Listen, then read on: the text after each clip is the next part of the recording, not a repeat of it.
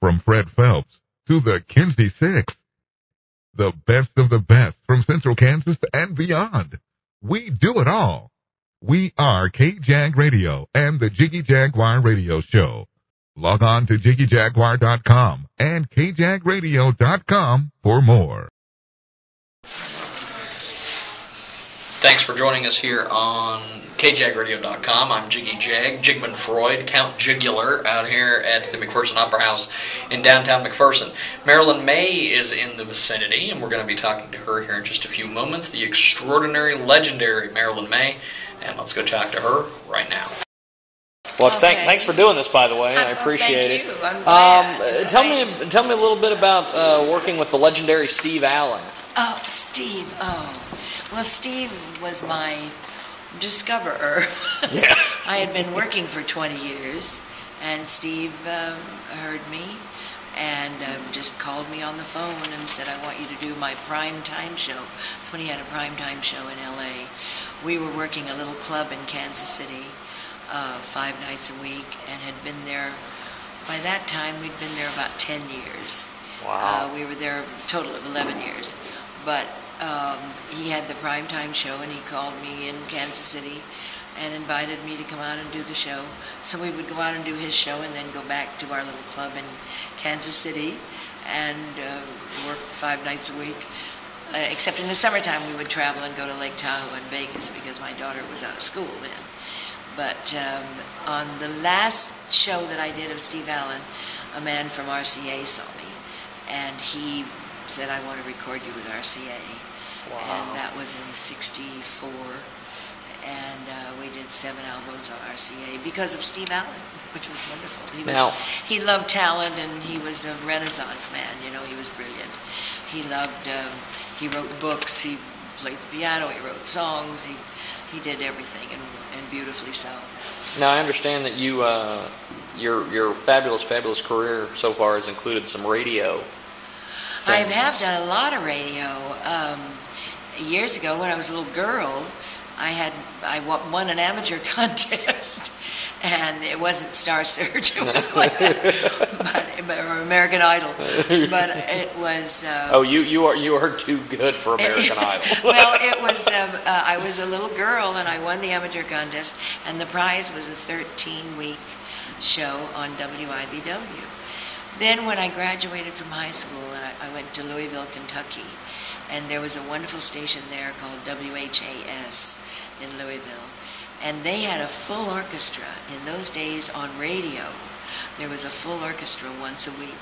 So I got incredible experience working with violins and that kind of thing. So it was not foreign to me when I started doing symphony concerts. Um, then they also, twice a week, we had a small combo, much like I'm working with tonight. Uh, piano, bass, and drums and guitar. I did a radio show with a small combination of, of musicians.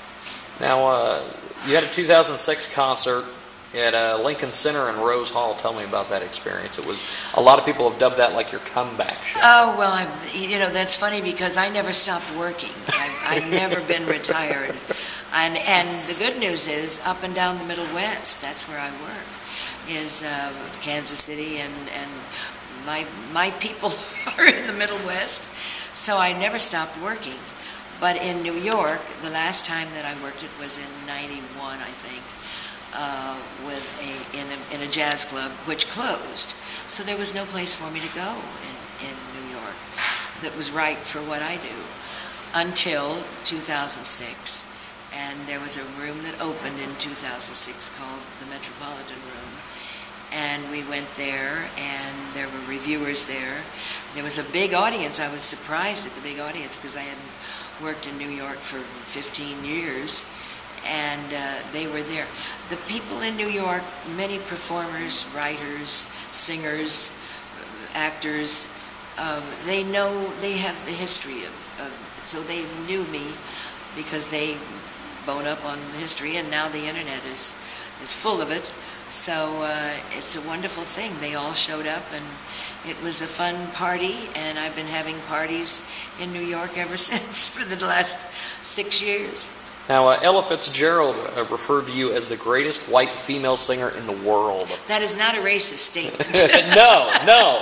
I just. and I want to say that. that that's that's a Uh, heck of an accolade. It was. Um, she got on the Johnny Carson show and the Merv Griffin show and the Mike Douglas show in those days. Those are all. You're too young to remember those shows, but but uh, I remember Johnny. there you. Yes, I did too. I remember Well, when they ask when they ask her who does she listen to, yeah. she said I listened to Carmen, which was Carmen McRae. I listened to Sarah, which uh, she called her Sassy, which is Sarah Vaughan, and uh, and Marilyn Maye is the greatest white singer. So we became very dear friends after that. we became very close. We really did. She was a wonderful lady, and of course, the best.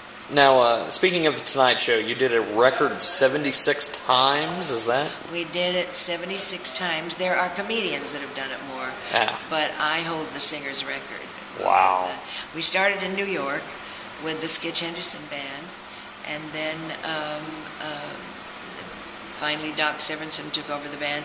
When they moved to L.A., we did it so many times in L.A., so it was, Ed McMahon saw me in a club in New York and said, you need to come and do the Tonight Show, and I was so thrilled to get to do that.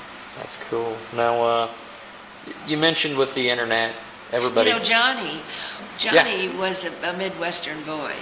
yeah. And I am from Kansas City. He was from Nebraska. Actually, was born in Iowa. Uh, so I think that might have had a great deal to do with our rapport. Although I didn't know that at the time, I look back and, and realized that that his great uh, appreciation of talent, there was no ego uh, involved with Johnny. He he loved people that were good and and supported them and, and pushed them and and had them on their, their show on his show so much. Um, the band was great. The Doc Severinsen band was so wonderful. So it was it was a great privilege to be on that show. Now, you mentioned earlier with the advent of the internet, everybody can, can find who you are and know who you are. What do you think of social media with Facebook and Twitter and all these things and YouTube? And, I think it's a wonderful thing. Uh, I think it's a terrible thing. it's really good and really bad because people will sit in my audience and hold some little instrument exactly. and they will tape your show. And obviously, the sound and The sound is, instrument is yes, we've heard that from many performers. Exactly. And then um, the um, pictures that are taken in the audience. When I work, I'm not I'm not a static performer. I move a lot, and my face moves a lot, and they get pictures that are not flattering at all. Yeah. And then that haunts you. Yeah. So, but the good news is, the good part of it all is that people know you and they can find you and follow what you're doing and and come and see you and read the reviews. There are so many online reviews that I'm so very thrilled about and grateful for. I haven't read a bad review, by the way. Well, they're just, it's just been wonderful for me, and I'm this late in life. I'm really quite thrilled that it, that it, it has happened. Now, uh, I understand from my research your signature song is It's Today. Well, it's my mantra. It's not, I don't know signature song, but, but it's my mantra because of what it says. You value each and every day.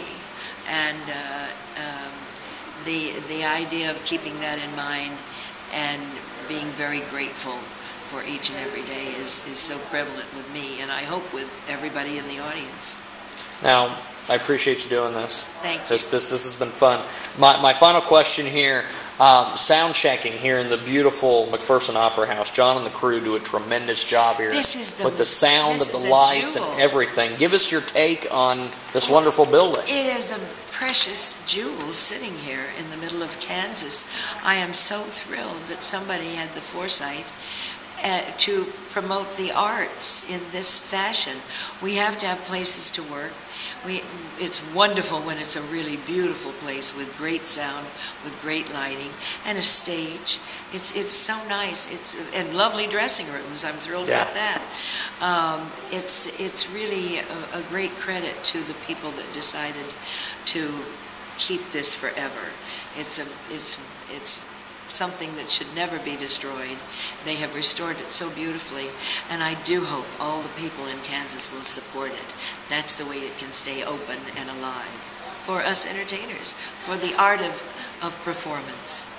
Well, I appreciate you doing this. You're a wonderful performer. Thank you. Enjoyed meeting you. Enjoyed watching your beautiful sound check. Thank that was thank you. amazing. It's a And- rehearsal, really. I'm more of a rehearsal. Well, thanks for doing this. Thank I you. I want to thank John Holochek and the good folks here at the McPherson Opera House. Uh, I also want to thank the legendary and extraordinarily Marilyn Maye for uh, being with us today. And uh, thanks to Cousin Chris behind the camera. I am, of course, Jiggy Jag, Count Jigular, and this has been